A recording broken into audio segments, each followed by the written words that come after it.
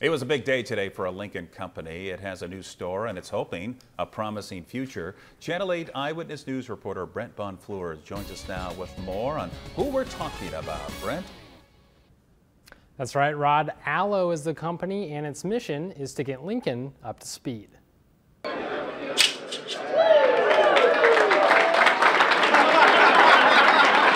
Allo Communications, a subsidiary of Lincoln-based Nelnet, opened a new retail store Thursday. The company says it offers blazing fast service for your internet, phones, and even your TV, with speeds up to 1 gigabyte per second. The new retail space provides potential customers a chance to try out the services before they buy. People can come in and try our products, talk to our people, um, evaluate what's the, the best need for them, whether they need 100 meg or a gig up and down or actually next year 10 gig.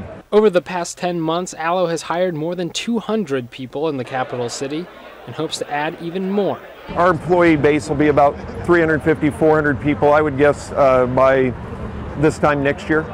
And so we're, we're growing rapidly. It, it takes a lot of people to support the huge demand we've received. An added benefit of Allo's service is that it's provided through fiber optic cable, which not only increases speeds, but also means it's not as affected during severe weather. The city has been installing the cable since 2012, but it's not available to all residents yet, something Allo wants to change. We aren't really announcing exactly how fast we're going, but I will tell you we're going as fast as we can.